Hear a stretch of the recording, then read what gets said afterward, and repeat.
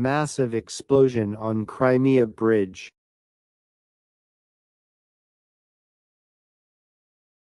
Crimea was annexed in 2014 by Russia, which now uses the bridge to move military equipment into Ukraine.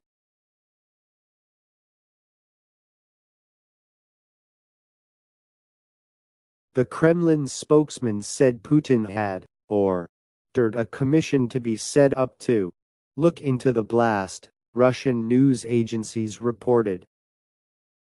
Russia's powerful investigative committee opened a criminal probe into the explosion and sent detectives to the scene.